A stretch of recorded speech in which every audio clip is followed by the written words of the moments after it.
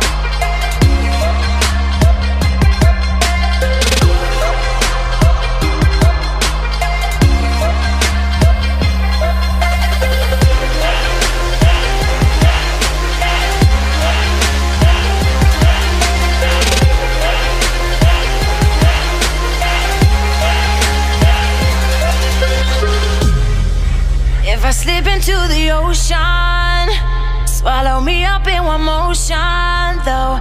Seize my queen, I show devotion.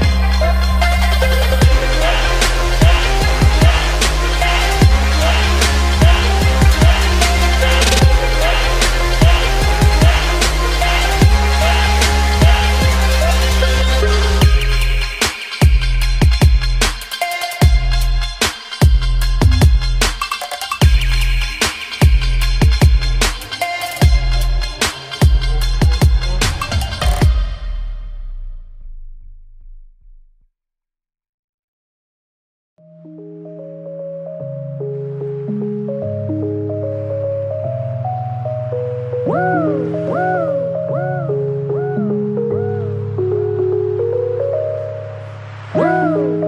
like I woke up from a nightmare. It's like I woke up from a nightmare. It's like I woke up from a nightmare. Because I finally got away from you. And I ain't never going back there. If it's the last thing I'll ever do. But now it's R.I.P. Because it's over and you're dead to me You just a memory that I can't break But I can't shake the ghost that you left behind here Pete,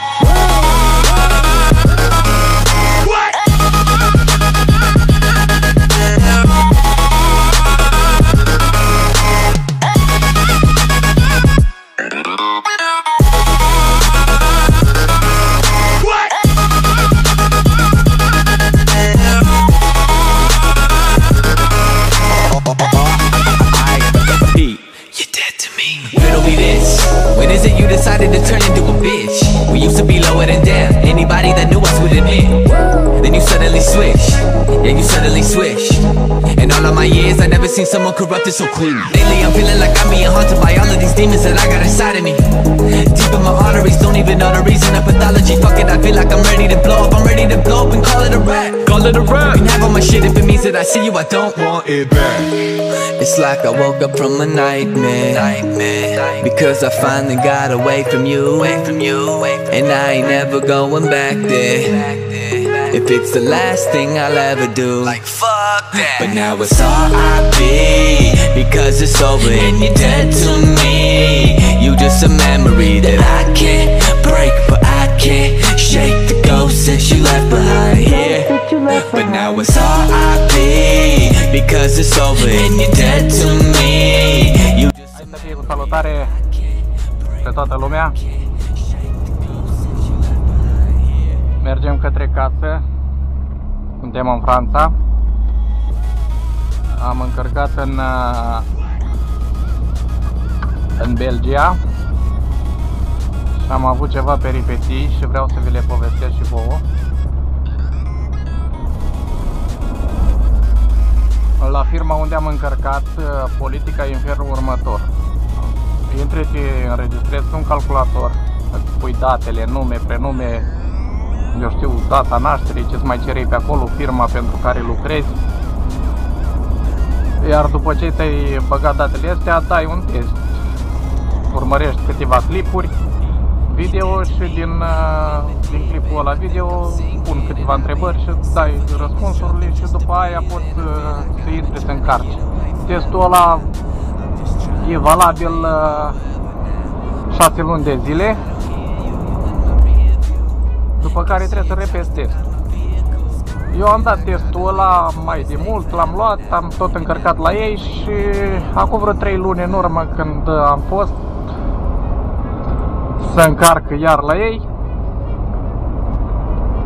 o trebuie să dau testul din nou.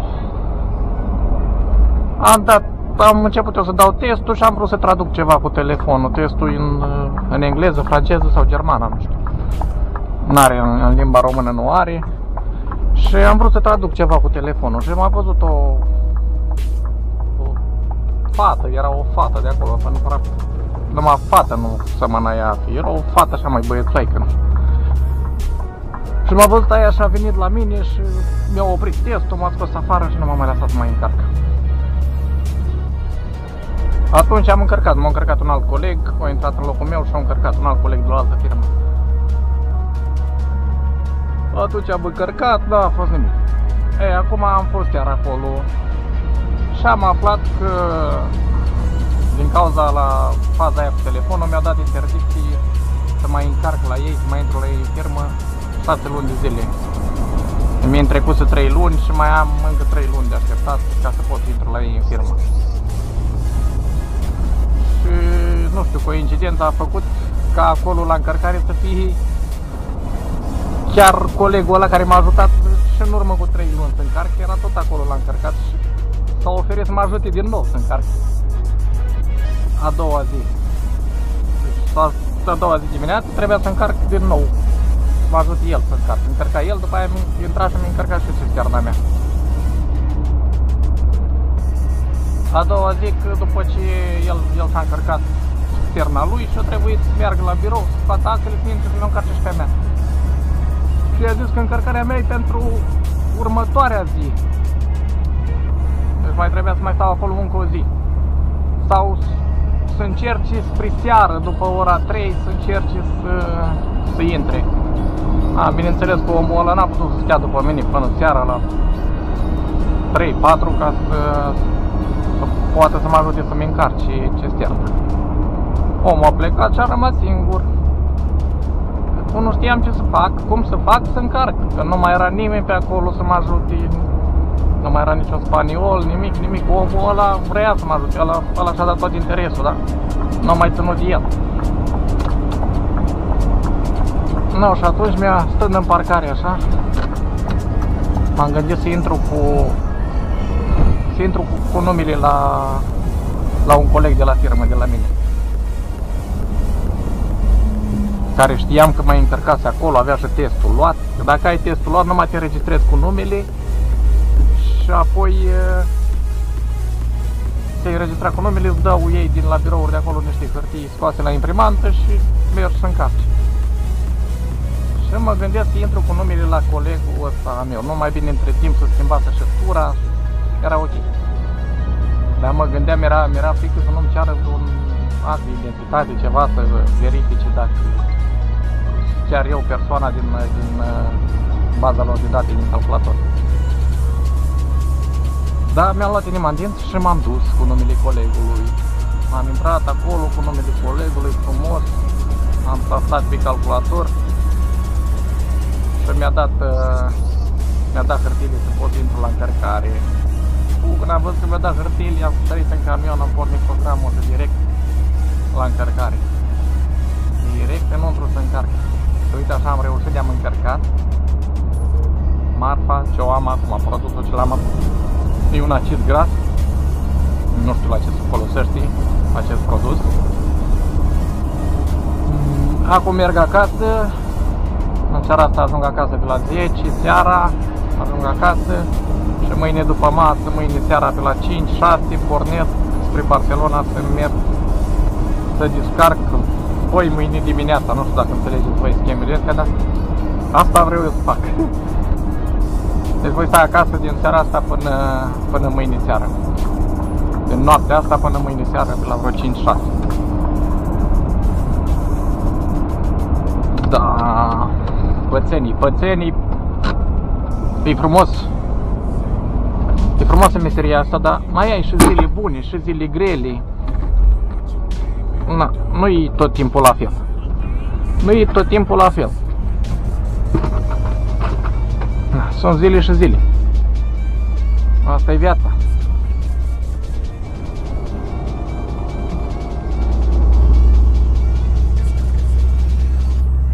Și am zis să vă povestesc până nu, cât mai am lumina, până nu cade lumina de tot. Să vă spun uh, repede, repede întâmplarea.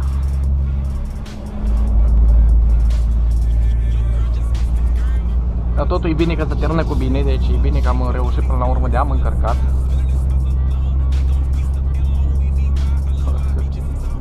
Nu sunt mândru de, de ceea ce am făcut, că am, practic am furat identitatea, am intrat pe identitatea altuia.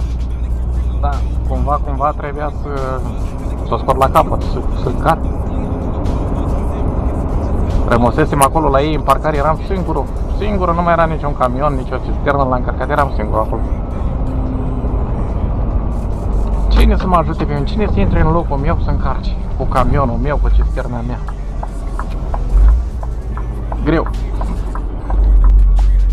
Știu, măcar acum știu. Știu că încă 3 luni nu, nu am ce căuta la ei acolo. Asta a fost greșeala, că dacă îmi spuneau ăia de atunci de când mi-a dat interdicție să-mi fi spus, bă, șase luni de zile nu mai vii pe la noi, că nu mai încarci. Era bine dacă îmi spunea, da. Nu mi-a spus. Eu n-am știut. Am aflat numai ieri. Eu am interdicții. Na. Dar partea bună e că ce m-a bucurat și m-am simțit așa răzbunat e că ăla de la birouri de la ei mi-au zis că e fata aia care m-a, m-a, m-a banat pe mine din n-am mai putut să mai încarc șase luni de zile, au dat-o afară din firmă tot așa pe motiv de rasism. S-au zis că au avut mai multe plângeri de rasism. Da, sună telefonul, vă las toate cele bune și Doamne ajută!